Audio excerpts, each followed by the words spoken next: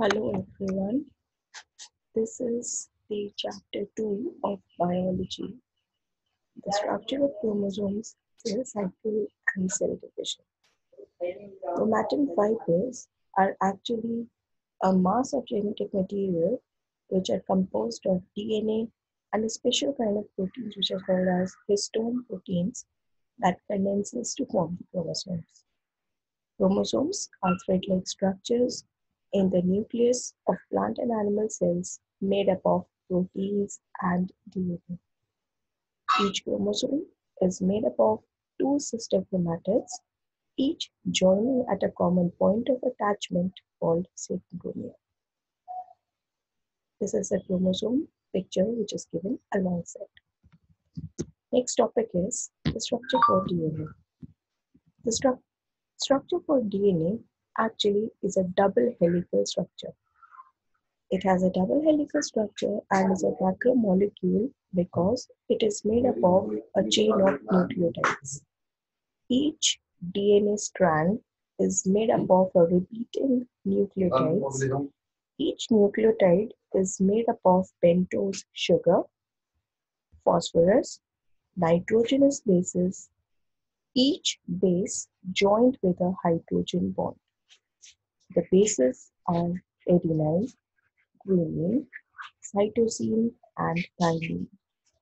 Adenine always pairs with thymine and guanine always pairs with cytosine. The diagram of DNA is given alongside. The formation of new DNA. For replication, the DNA doubles by opening its helix at one of the points and making the two strands to which the new strands are formed. It is semi-conservative in nature. It means that when the new DNA is getting formed up in it, one strand will remain as old and the other will be a new one which is going to get formed up. The genes. The genes are specific sequences of nucleotides on a chromosome that forms a particular kind of proteins mm-hmm. and is expressed in form of a some body feature in the body. Why is there a need for cell division? For growth of an organism, for repair and replacement of cells, for gamete formation in sexual reproduction. For these three reasons, actually, the cells need to get divided. The cell division. The cell division is actually of two types, mitosis and meiosis. Mitosis, it is a cell division usually used for growth and repair and replacement of cells. It is called, also called an equational cell division. It produces two daughter cells with similar number of chromosomes as in the parent cells. It occurs in somatic cells of the body. What is karyokinesis and cytokinesis?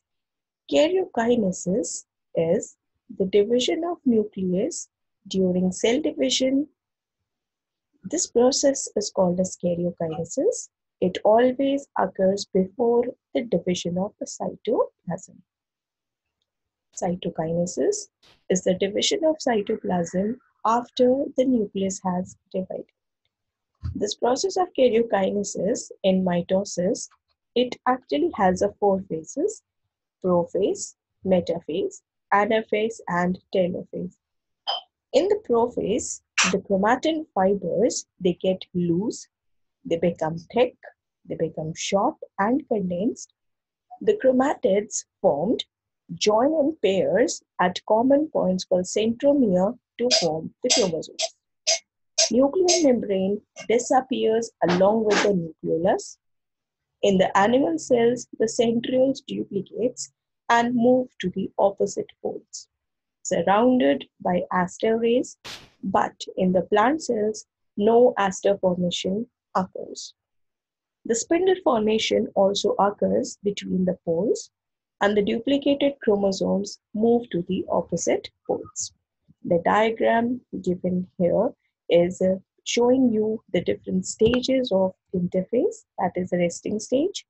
Then the prophase, you can easily see centrioles moving to the opposite sides in an animal cell, whereas the rectangular cell is the plant cell because it has a cell wall and also centrosomes or asters are absent. Metaphase, the chromosomes arrange themselves at the equator of the cell with the centromere being fixed upon the spindle fiber. Anaphase, as the spindle fiber contracts, the centromere ruptures and pulls the sister chromatids to the opposite poles. By the end of this phase in animal cells, a furrow formation occurs from periphery to the center. And in plant cells, a cell plate forms from center to the periphery. The given diagram alongside is showing you the first of all metaphase. You can see that in both the cells, the plant and the animal cells, the chromosomes are arranged in the center of the cell, that is the equator of the cell. Then shows for anaphase. Anaphase is again making sure that the chromosomes have ruptured from the centromere and now they are reaching to the opposite poles of the cell. Even the spindle formation is visible when the spindle fibers are contracting, they are pulling the sister chromatids to the opposite sides.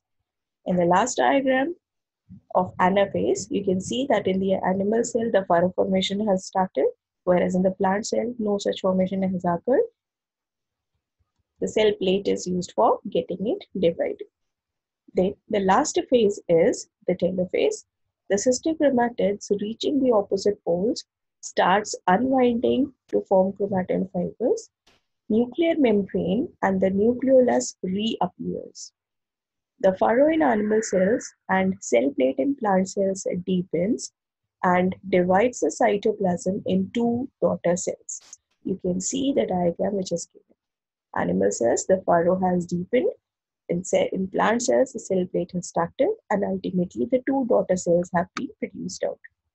What is the significance of cell division process? The cell division process is actually needed, that is mitosis is required for growth, repair and replacement of cells.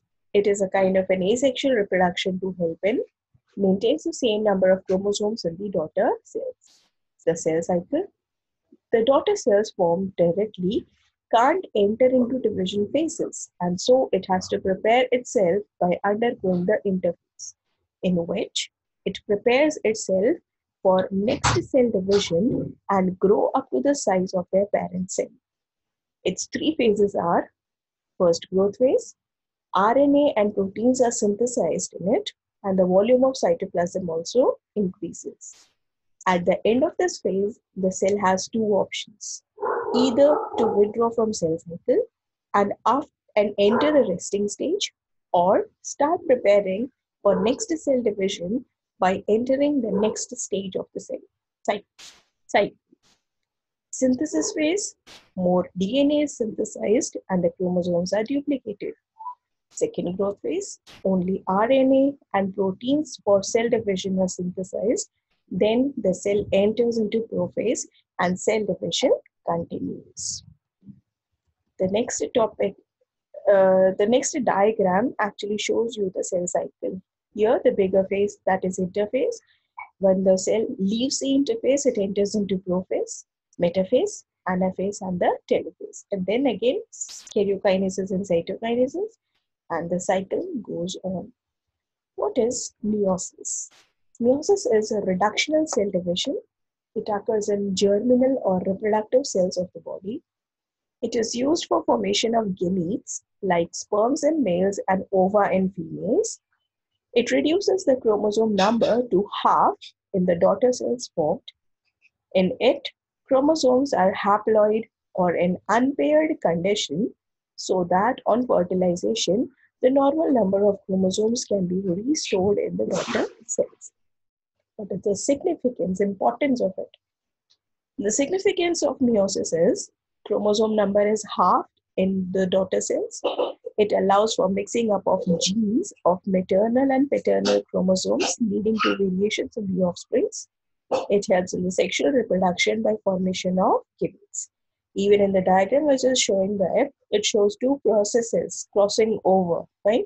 The two different colored chromosomes are there. One is of maternal, but the other one is of paternal. The places where the chromosomes are overlapping, this is overlapped region which is called as chiasma. Whenever, wherever the chromosome parts are overlapping, from there, the genes of both of these different chromosomes will get interchanged. You can see in this diagram. And this process is called as a crossing over. This allows for the combination of genes of both mother and father. The last table differentiates between the mitosis in plant and animal cells. In the animal cells, the asters are formed. In the plant cells, asters are not formed. Animal cells are having cytokinesis by furrowing of cytoplasm whereas in the plant cells, it is by cell plate formation. In the animal cells, this occurs in most tissues throughout the body for growth and replacement, whereas in the plant cells, it mainly occurs at the growing tips for lengthening and sides, and that is the increase in the girth. Okay? With this, we have come to the end of the chapter. Hope you would have understood it. Thank you very much.